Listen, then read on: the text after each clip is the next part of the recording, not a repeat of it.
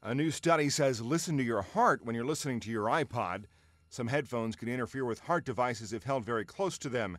They might even prevent a defibrillator from delivering a life saving shock. It would stop looking for dangerous heart rhythms and it wouldn't treat a dangerous heart rhythm should one occur while the headphone was on top of the device. The study looked at earbud style headphones that hook over the ear. The problem has been traced to magnets in the headphones. It doesn't matter if the headphones are plugged into a player or whether the player is on or off. Dr. William Maisel of Beth Israel Deaconess Medical Center in Boston presented his research to the American Heart Association Sunday. When headphones were about an inch from the device, interference was detected nearly one quarter of the time. A pacemaker reset itself in one patient.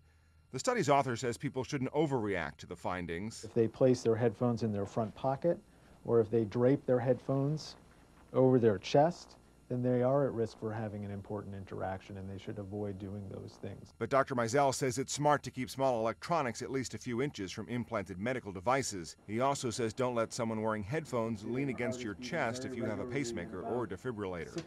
Matt Friedman, The Associated Press.